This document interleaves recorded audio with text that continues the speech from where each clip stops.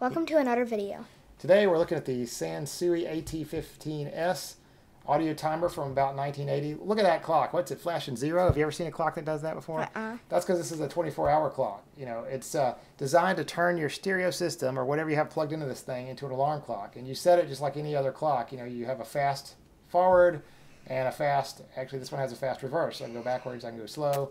I can set the time. Interesting, it's the seconds aren't displayed, but you can press that button and it, and you just sort of imagine the time sliding to the left and, and showing the, you the seconds. So it's 23, 28, and uh, so many seconds. Why do you think you'd use this? Um, I don't know. Well, you know, you might want to record a program. Like, say something's coming on, a ball game or a concert, and you're not at home.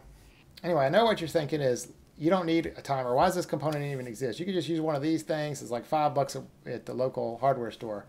But the problem is that's designed to live down behind your stereo cabinet eh, by an outlet. This thing is actually a, a component that's designed to be part of your day-to-day -day use. It's got two outlets and handles up to 700 watts and will actually work in multiple voltages. Here in the US, we're 120 volts, 60 hertz. It's designed to work with components that have physical power switches and mechanical stuff. So like our Pioneer CTF650 has a mechanical timer switch which will tell the tape deck to come on when power is applied. This tape deck has computer controls, but most manufacturers include a timer switch that says, hey, when I come on, either record or play. Now this thing on the right, notice when I go from on to auto, it keeps the outlet on, which is a nice feature so you're not, you know, if you want to set things up and you're playing your stereo, you don't have to turn it off.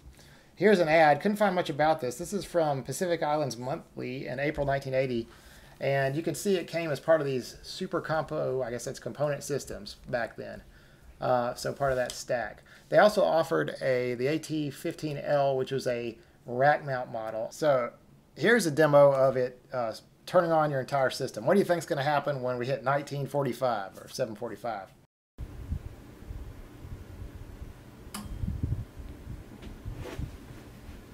Turntable comes on, the tape deck starts playing, the receiver comes on. So you could use that to, you know, record a program or, or just wake up with music in the morning.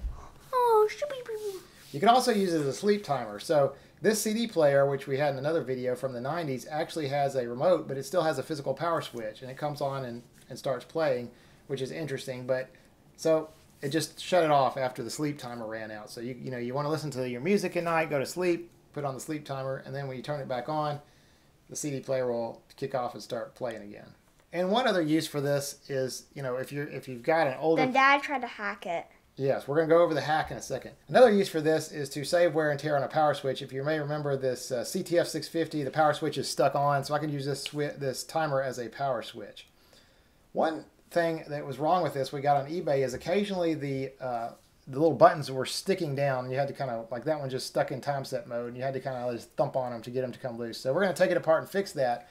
Yeah, we're going to see if this thing can be hacked to have a uh, uh, 12 AM PM display instead of the 24 hour time display. Anyway, so if you look at the service manual online uh, for the this model, there's a chip on there that controls the clock. And if you look at the schematic in the service manual, you see pin 38 actually has a 12 or 24 hour select switch, and pin 40 and pin 1 are both wired to AM and PM on the display. So it seems odd that they would include all this stuff and not give you the option to switch to a 12-hour clock. So we're going to take it apart and see if it's possible to hack this. So there's a there's a blue piece of tape on the left side of this clock, which is odd. Uh, there's the glue. That's the reason the buttons are sticking. We're going to clean up that glue and fix that problem. Later. Yeah. If you look at this, let's take off this blue piece of tape here. Look what's behind the blue piece of tape. AM and PM. So it's like they man manufactured this with AM PM capability, and then they just hit it with a piece of tape.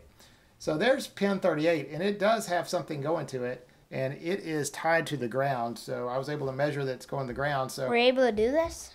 Yeah, I'll show you what happens. So, so what I did was I just ended up using a screwdriver to kind of scratch away this uh, trace, which created the you know conductivity between that pin to the ground.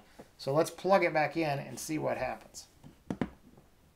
So I just did this. Do you think it's going to work? No. no. Uh, Hey, come on. It actually appears to work. Well, you remember before it with the 24 hour mode, it starts at zero. And uh, it starts at 12. That's good, you know, so it seems to have worked. But then when I start going through trying to set the time, I suddenly realize it doesn't work because internally in the display, it's not wired up correctly. Uh, when I get, see, look, to the left of of that, instead of lighting up the AM and PM, it's lit up, you know, some other piece of that digit. And so I think the, the chip handles it, but it's not wired into the uh, other uh, part uh, correctly. And to get into this would require taking uh, that clock off, which is about 40 pins. So I'm not going to do that. So ended up just putting it all back together and just being satisfied with the 24 hour clock mode for now. So at least we tried to hack it. But it? Yep. That's about it. Anything else you want to add? See you next time for another video. Bye bye. Bye.